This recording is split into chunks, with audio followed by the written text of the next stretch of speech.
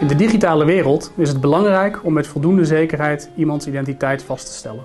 Om online toegang te krijgen tot een bepaalde dienst moet je bewijzen dat je bent wie je zegt te zijn en of je mag handelen namens een ander. Er bestaan inmiddels verschillende oplossingen om online toegang veilig mogelijk te maken. Op websites van de overheid en in de zorg loggen burgers in met DigiD en ondernemers met e-erkenning. Er volgen in razend tempo nieuwe manieren van inloggen. Met een rijbewijs, identiteitsbewijs, via de bank of met een app. Al deze vormen van identificatie en authenticatie moeten uiteraard voldoen aan strenge eisen. Met Signicat zetten we een stap vooruit wat betreft de digitale identiteit. Ons streven is digitale dienstverlening waar mogelijk en fysiek waar nodig of zelfs gewenst. Door e-burgerzaken en Signicat aan elkaar te koppelen zijn we klaar voor de dienstverlening van de toekomst. We stellen als gemeente Oosterhout eenvoudig in welke identificatiemethodes we willen ondersteunen.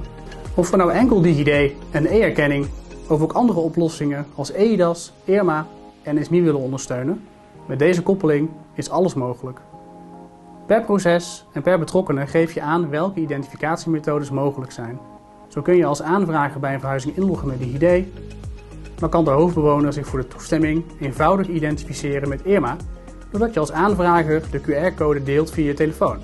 Zo geef je eenvoudig toestemming op afstand en heb je als burger de regie op je eigen gegevens. Mooi toch?